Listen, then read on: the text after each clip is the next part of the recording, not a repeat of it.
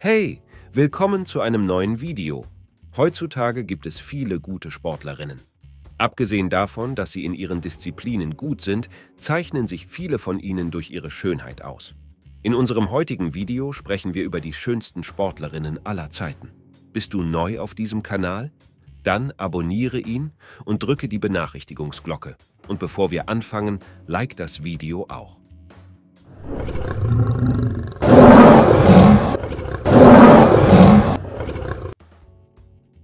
13.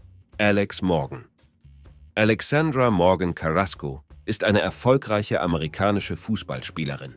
Ihre Reise begann, nachdem sie beim WPS Draft 2011 von den Western New York Flash an erster Stelle gewählt wurde. Mit nur 22 Jahren war Alexandra die jüngste Spielerin der Nationalmannschaft bei der FIFA Frauenweltmeisterschaft 2011, die den zweiten Platz belegte. Zu Alexandras Karrierehöhepunkten gehören der Gewinn der Goldmedaille bei den Olympischen Spielen 2012 in London, Rekorde bei Toren und Assists und zahlreiche Auszeichnungen wie zum Beispiel US Soccer Female Athlete of the Year. Sie ist auch eine erfolgreiche Autorin und Schauspielerin mit ihrer Buchreihe The Kicks und einer Filmrolle in Alex und Me. Zu ihren Werbepartnern gehören große Namen wie Nike, McDonald's und Coca-Cola, was sie zu einer der bestbezahlten amerikanischen Frauenfußballerinnen macht.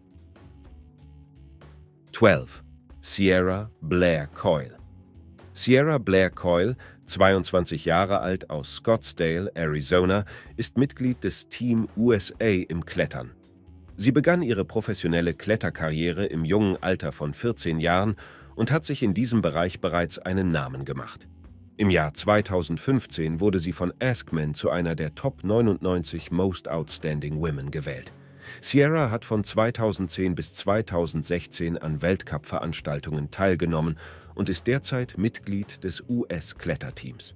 Während ihrer Juniorenzeit wurde sie zweimal nationale Meisterin, im Mai 2016 schloss sie ihr Studium an der Arizona State University mit einem Abschluss in Marketing ab. Heute widmet Sierra ihre Zeit dem Reisen um die Welt, ihrer Leidenschaft für das Klettern und den Wettkämpfen auf höchstem Niveau. Eleven Bianca Salming Bianca Emily Elisabeth Salming, geboren am 22. November 1998, ist eine schwedische Leichtathletin, die für ihre Leistungen im Siebenkampf bekannt ist. In ihrer Jugend holte sie zahlreiche Goldmedaillen bei den schwedischen Meisterschaften. Sie startete zunächst für Täby IS, vertritt aber seit 2017 Turebergs FK. Neben dem Siebenkampf ist Bianca auch im Weitsprung aktiv. Im Jahr 2016 erreichte sie bei der Junioren-Weltmeisterschaft einen beachtlichen vierten Platz im Siebenkampf. Bianca vertrat Schweden stolz bei den Leichtathletik-Europameisterschaften 2018 in Berlin und bei den Leichtathletik-Europameisterschaften 2022 in München, wo sie den achten Platz im Siebenkampf erreichte. 10. Jutta Leerdam Jutta Leerdam, geboren am 30. Dezember 1998, ist eine niederländische Eisschnellläuferin, die sich vor allem im Sprint auszeichnet. 2017 wurde sie bei den Junioren-Weltmeisterschaften in Helsinki, Finnland, Junioren-Weltmeisterin. Im darauffolgenden Jahr, bei den Meisterschaften 2018 in Salt Lake City, USA, sicherte sie sich den zweiten Platz, wobei ihre Landsfrau Joy Björn den ersten Platz belegte. In der Saison 2017 bis 18 triumphierte Jutta beim ISU Junior World Cup und gewann die 1000 Meter und 1500 Meter. Außerdem wurde sie niederländische Juniorenmeisterin im Sprint. Im Jahr 2018 wechselte sie zum professionellen Eisschnelllauf und schloss sich dem Team IKO an. 9. Camille Leblanc-Bazinet Camille Leblanc-Bazinet, die am 10. Oktober 1988 in Richelieu, Quebec, geboren wurde, hatte einen abwechslungsreichen sportlichen Werdegang. Zunächst war sie fast 14 Jahre lang eine herausragende Turnerin, musste aber mit 16 Jahren ihre Turnkarriere wegen einer Hüftverletzung unterbrechen. Nach ihrer Genesung spielte sie in der A-Jugend Fußball und Volleyball und war sogar Kapitänin eines College-Football-Teams. Camille entdeckte auch Aktivitäten wie Halbmarathons, Skifahren und Rugby. Ihr Einstieg in CrossFit kam unerwartet, als ein Mann ihre Fitness-BI einem Team-Event herausforderte. Nach anfänglichem Widerstand ihrer Eltern und Freunde, die es für riskant hielten, haben sie CrossFit schließlich angenommen. Camille Leblanc-Bazinet entwickelte sich zu einer prominenten Figur im CrossFit und gewann den weiblichen Titel B den CrossFit Games 2014. 8. Eugenie Bouchard Wimbledon Eugenie Bouchard, bekannt als Genie, ist eine kanadische Profi-Tennisspielerin, die am 25. Februar 1994 geboren wurde. Im Jahr 2014 schrieb sie Geschichte, als sie das Finale eines großen Einzelturniers, der Wimbledon Championships, erreichte und damit die erste in Kanada geborene Spielerin war, der dieses Kunststück gelang. Ihr Tennisstil zeichnet sich durch eine aggressive Spielweise aus, bei der kraftvolle Grundschläge von der Grundlinie im Vordergrund stehen. Eugenie ist besonders stark mit ihrer beidhändigen Rückhand, mit der sie ihre Gegnerinnen hinter die Grundlinie drängen kann. Ihre Vorhand ist zwar kraftvoll, kann aber aufgrund ihres verkürzten Schwungs manchmal zu Fehlern führen. Während sie im Doppel brilliert, bleibt sie in den Einzelspielen eher an der Grundlinie. 7. Paige Van Zandt Paige Michelle Van Zandt bekannt für ihre verschiedenen Talente, ist eine amerikanische Persönlichkeit mit einer vielseitigen Karriere. Sie hat Mixed Martial Arts, Boxen mit bloßen Fäusten, professionelles Wrestling, Schreiben und Modeln betrieben. Paige kämpfte früher in der Ultimate Fighting Championship, UFC, in der Fliegengewichtsklasse. Sie ist auch im Fernsehen in Shows wie Dancing with the Stars und Chopped aufgetreten. Sie hat auch schon für Nike und Columbia Sportswear gemodelt. In einem Interview mit OnlyFans verriet Paige kürzlich, dass sie in nur 24 Stunden mehr Geld verdient hat als in ihrer Kampfkarriere. 6. Jin Yu Frey Jin Yu Frey mit einer professionellen MMA-Bilanz von elf Siegen und neun Niederlagen hat in letzter Zeit mit einer Serie von drei aufeinanderfolgenden Niederlagen zu kämpfen. Sie ist 38 Jahre alt und wurde am 20. Mai 1985 in Arkansas, Vereinigte Staaten, geboren. Ihr Cheftrainer ist Douglas Fry. Im Laufe ihrer Karriere hat sie ein Einkommen von 17.500 Dollar, 16.530 Euro, angegeben. Jin Yu Freys Weg in der Welt der Mixed Martial Arts spiegelt ihre Hingabe und Leidenschaft für diesen Sport wider.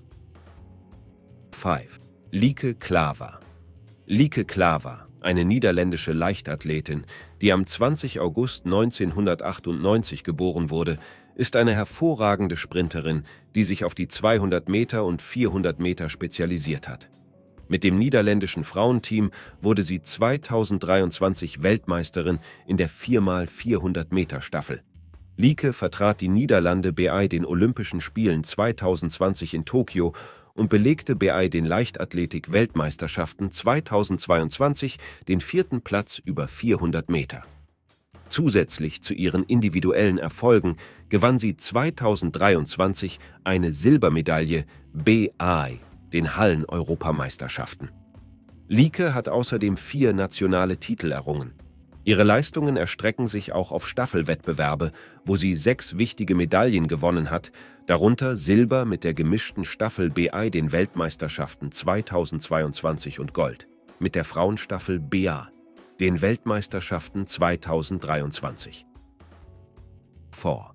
Ivona Dadig Ivona Dadig, geboren am 29. Dezember 1993, ist eine österreichische Leichtathletin mit bosnischer Herkunft. Sie nahm an den Olympischen Sommerspielen 2012 im Siebenkampf der Frauen teil und belegte bei den Olympischen Sommerspielen 2020 den achten Platz. Ihre sportliche Reise begann im Alter von neun Jahren, als sie ihren ersten Wettkampf gewann. Tragischerweise starb ihr Bruder Ivan 2008 bei einem Autounfall, woraufhin sie sich ein Kreuz mit seinem Namen auf ihre linke Hand tätowieren ließ. 2015 gewann sie bei den U23-Europameisterschaften mit 6.033 Punkten eine Bronzemedaille und ein Jahr später sicherte sie sich bei den Meisterschaften in Amsterdam 2016 mit 6.408 Punkten eine weitere Bronzemedaille. 3.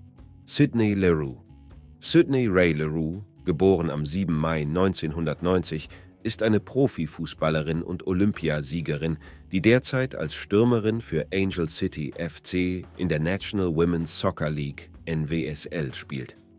Obwohl sie in Kanada geboren wurde, entschied sie sich später, die U20 Frauenfußballnationalmannschaft der Vereinigten Staaten und die A-Nationalmannschaft zu vertreten.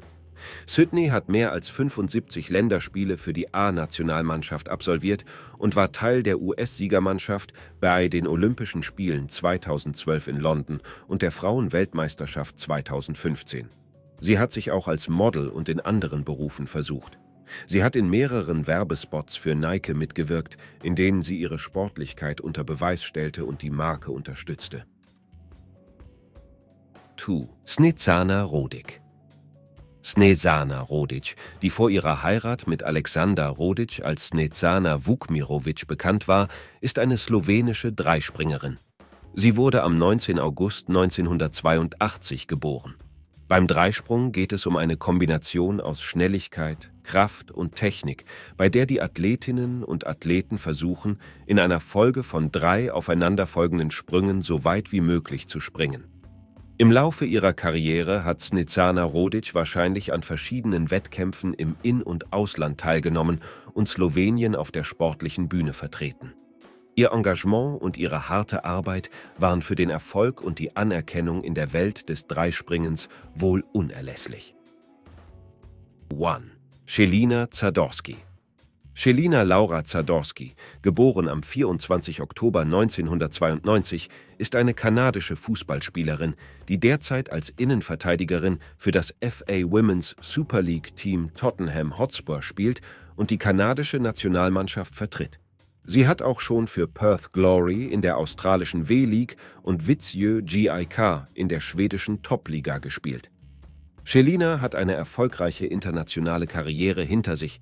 Sie gewann mit Kanada bei den Olympischen Spielen 2016 in Rio eine Bronzemedaille und bei den Olympischen Spielen 2020 in Tokio eine Goldmedaille. Ihr Debüt für die Nationalmannschaft gab sie im Alter von 20 Jahren am 14. Januar 2013. Welche dieser Sportlerinnen ist deiner Meinung nach die schönste? Lass es uns in den Kommentaren wissen. Wenn dir das Video gefällt, gib ihm einen Daumen hoch. Wenn du mehr Videos sehen möchtest, die wir gemacht haben, klicke auf eines auf dem Bildschirm oder sieh dir unseren Kanal an. Danke fürs Zuschauen und bis zum nächsten Mal.